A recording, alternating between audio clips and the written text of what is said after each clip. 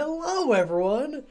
I don't have a script today, so it's gonna be rambly. Hello, one and all, and I want to battle. For those of you who don't know, fellow YouTuber Birdkeeper Toby, pictures, I don't know, somewhere around here probably, has started this tag video a couple years ago uh, to sort of, you know, wrap up the year, bring all the people in this Pokemon YouTuber community together, and uh, answer a few questions, have a good time, and now I'm doing it. I was not tagged by anyone in particular because I'm impatient and don't feel like waiting, so I just went ahead and jumped the gun and did it anyway. But basically, Toby has posed a couple, I think seven questions today. I got notes down there, and uh, I'm going to be answering them. It's about Pokemon mostly, some of it's about the channel. It's a good time, and at the end, I'll be tagging a few more people to, uh, you know, keep carrying the torch, and then they tag more people, and then they tag more people. It's a whole thing. You know how this works. But I guess for those of you who have discovered this channel or are here for the first time because of this tag video, first of all, welcome. Nice to have you aboard. Uh, on this channel, I make sort of Pokemon and other video game related videos where I use like math and statistics to try to explain stuff from the games. But really, it's more just comedy and jokes and stuff.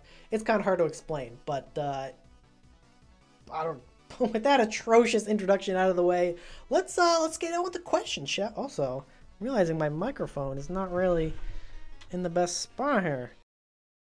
Alright, so question one is pretty simple. Pokemon Scarlet and Violet just came out a couple weeks ago now. What is your favorite Pokemon from these, these new games? And for any of you who have seen the video that I made two weeks ago now, I think, uh, this will come as no surprise. My favorite is Quaxly. Not the evolutions, eh, they're okay, but Quaxly is is the best boy. Uh, I know it's kind of cliche to be like, oh, one of the starters is my favorite. Also, I should know I haven't finished the games yet, so maybe there's some other ones that I would love that I just haven't seen yet, and you know, maybe maybe we'll get there. I don't know, but currently, out of all the ones I've seen, Quaxly is the best. I made literally a whole video that is low key about how Quaxly is my favorite. And uh, yeah, it's a duck with a hat. I know a lot of you think it's hair, and I know he like flips it like it's hair, and multiple people in the game reference it like it's hair, but I don't care. It's a freaking hat. It will always be a hat to me. Don't crush my dreams, okay? So question number two, how did you get your username? Now, I think I might have told this story already on this channel before, maybe even as a part of this tag. I'm not sure, but I'll tell it again for anyone who's new, which is probably most of you. So the Chiptide is actually a name that one of my cousins came up with. Me and my cousins, we have like nicknames for each other, just as like a fun little thing. Uh, I have a ton of nicknames. My real name is Charlie. Basically, any word that starts with a CH has probably been one of my nicknames at some point, including Chips, which some of you might know me by, which is back in the olden days, what I was, you know, known as on the channel was Chips. And that's where that's from. And one time we were all on like a family vacation together and all of the aunts and uncles were freaking out about riptides in the water. They were, even though there were no riptides, but one of them read like an article about riptides or something, and then they were yelling at us about riptides for the whole week. Uh, and so we made a joke that I was the chip tide, and in the pool I would like swim around and then pull people underwater. It was super dark looking back. They, I mean, that's a genuine concern that they had, but we were dumb kids and we made a bit about it. And uh, that's how the Chip Tide was born. And then when I was trying to come up with a name for my channel, I was like, oh, the Chip Tide, that kind of sounds unique. Sounds like something no one else would have. Bada bing, bada boom, here we are. So that's the, the grand tale behind my username, I guess.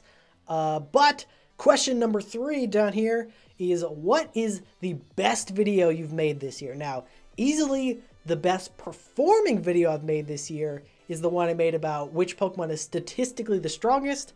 It got, I think it's up to 150, 160,000 views, which is insane for my channel. And it got me out of the, you know, the small YouTuber purgatory. I was stuck at like 400 subscribers for years. Like I've been doing YouTube for six years, I think now. Uh, it took me six years to get to like 412 or whatever I was at. Then that video came out and skyrocketed me, and now I am just over 3,000. And it's not really, I mean, it's slowing down a little bit because that video is not getting as many views now, but uh, it's kind of crazy. So that is my best performing video of the year, but I don't think it's my best video of the year. Looking back, I didn't think that that many people were going to watch it, and I definitely, if I had known, would have put a lot more effort into it uh, and made it a lot better, put more jokes and whatnot.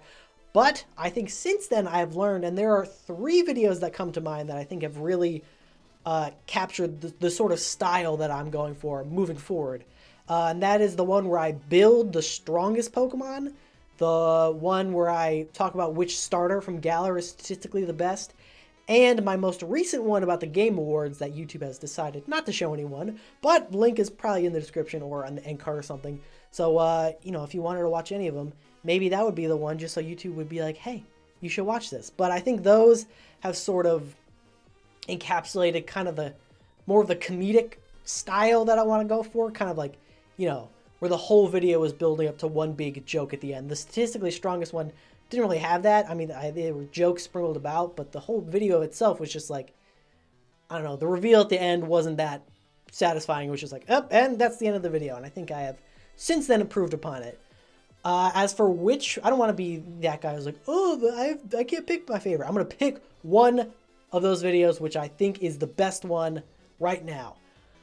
The starters. I think that's the best one. They're all good, but I think, yeah, I'm to go, I think that one is the best execution of the sort of style I've been going for. So, right here, right here, if I remember to put it in, boom, boom. Uh, statistically best starter Pokemon for uh, Scarlet and Violet give it a watch, but also don't take it too seriously because that's not really the point. Question number four What can your viewers expect from you in 2023? Uh, first of all, it's to be a lot more. The first half of 2022 for me was like nothing. Didn't do anything on the channel for a while. And then I came back and then it freaking exploded. So, uh, more of that. I haven't really like officially said this on the channel before, I don't think. Uh, but I've sort of quietly started doing weekly uploads, and it's I, I've been able to keep up with it so far. So I think I'm gonna try and keep on doing that for as long as I can. Uh, more of the same videos, some more Pokemon stuff because those clearly perform the best on my channel. But I also want to do other non-Pokemon related stuff because I think if I just talked about Pokemon every week for like a whole year, I would lose my mind and also I would run out of stuff to talk about pretty quickly. So uh, yeah, basically more of the same. I got a lot of cool video ideas that I'm, you know, slowly, slowly working on. I think it'll be fun. I think it'll be a very cool year for the channel. I'm also looking to do more collab stuff in the future.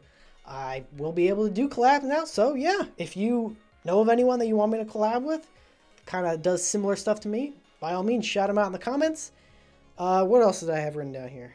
Nope, I thought I had one more thing written down for this, but that's all I have in my notes. So yeah, uh, weekly episodes, more Pokemon stuff, but also a lot of non-Pokemon stuff. So if you see some non-Pokemon stuff crop up on the channel, if, and you want to do me a solid, give it a click because I think YouTube right now is like, if it's not Pokemon related, we're just not going to recommend that to people. You know, want to see stuff about the Game Awards. No, no. So uh, maybe help me out and let them know. Or if you don't want to see non-Pokemon stuff, then you know what? That's valuable information too.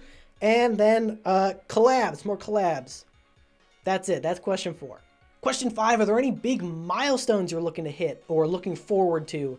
Uh, I don't, I'm not really the kind of guy who's like, all right, by the end of this year or whatever, I want to get to this subscriber count. I think by the end of 2023, 10,000 would be pretty cool. I don't know if that's feasible. It's super hard to predict, but I think not so much a milestone, but a goal for next year is to get a better understanding of like which videos do well and which videos do not. Because currently, I'll post a video, I'll be like, hope this does well. Sometimes it does, sometimes it doesn't, but it's not like I'll have one that gets a ton of views and then the next one that I think is similar uh, won't get a lot of views. And so I'm trying to figure out like what, you know, I'm, I'm the science guy. I'm trying to figure out what, you know, is affecting how many views it gets. It's a fun little puzzle. I don't like super care about the views in the sense of like, oh, I need I need validation or whatnot. I just, you know, it's an interesting problem that I want to try and figure out, and so I'll do some experimenting. We'll see what we can do, and uh, yeah, so that's, I guess that's not a milestone at all, but that's kind of my uh, my plan moving forward for next year is to try and nail down, you know, when I release a video, be able to predict like, okay, I think this is gonna get however many views and kind of be able to not like I know I'm not gonna be able to release banger videos every single week. That's just not feasible, but uh, more consistent, I think, is my goal. That's my goal. Question number six is to recommend some channels with less subscribers than you that you think your viewers will love. Uh, and I think these are the same channels that I shout out every year for this, and I'm going to do it again. That is, of course, my boy Lanturn Joe. If you've been around the channel for a long time, you will definitely know Joe. We did a lot of co-op stuff back in the day. Uh, I don't do a lot of Let's Play stuff anymore, just because I don't have the time for that. Joe does a lot of Let's Play stuff, so if you're like, man, I miss the old Chiptide, where he did a lot of, you know, Pokemon Nuzlocke and stuff, then you gotta go check out Joe's channel, because he is still doing that, and he is still killing it uh, and usually, you know, usually, I don't mean to brag here, but he is my uh, my forever rival in co-op stuff. So you know, maybe, maybe a little shots fired here and there isn't too bad. Usually, when I did this, I'd be like, well, he's got more subscribers than me, but I'll show him out anyway. But I have since leapfrogged him, so you know what, Joe? gauntlet's been thrown. And the second person I want to shout out is Icy Richard. Not really a PokeTuber, he does some Pokemon stuff, more of a streamer, but we've been working on a couple of things together. You know, I mentioned uh, collabs that I want to do more collabs earlier. We may or may not have one in the pipes, as well as some other cool stuff. Uh, I've been working a lot with him recently, and I think y'all would really like his stuff. So go check him out. Those are the two channels I want to recommend, and that kind of bleeds into question seven: is tag three people. The first two, obviously, gonna be Lanturn Joe, gonna be Icy Richard, and for the third one, I think I'm gonna be a little ambitious. This one definitely not gonna happen, but in the comments of my statistically strongest Pokemon video, for some reason, like half of them were people saying that I should do a collab with Wolfey, the VGC champion guy. I have no clue why people want that. He's a very, very talented competitive battler. And I don't know anything about competitive battling, so I don't really uh, know what the collab would be. But, you know what? I'll tag him. And I actually, I know I said I didn't know what the collab would be, but I have thought of a very stupid but funny idea for a collab video. So, you know what, Wolfey? If you got the time and don't mind collabing with a channel that is much, much smaller than you and who's pretty much all of his viewers by the sound of it already know who you are, then hit me up. There's not much in it for you, but it would be funny. But I think that's going to bring my installment of the Bird Keeper Toby 2022 tag to a close. Uh, the link to the original video obviously is in the description down below. Toby is an amazing PokeTuber, much better than me. And uh, yeah, so if you want to check out his video, link is the description down below. Also in his original video is a link to like the logo and stuff if you want to make a video of this for yourself. Uh, even if I didn't tag you, you know what? Toby said he tagged literally anyone watching it. So if you go watch that and you want to do it yourself, then bada bing, bada boom, you can do it as well. But I think I will end off this video right here if you did enjoy. As always, make sure to leave a like, comment, and subscribe. Most of my videos are nothing like this. They're a lot more well thought out, uh, scripted stuff. So if that seems like something you'd be interested in, uh, maybe check out one of the three videos I mentioned earlier. Probably. They'll be in the end card. Maybe they're floating around me right now. Oh, oh, look at those videos floating around me. Crazy. But I'll see you guys next time. Until then, don't forget to take it easy.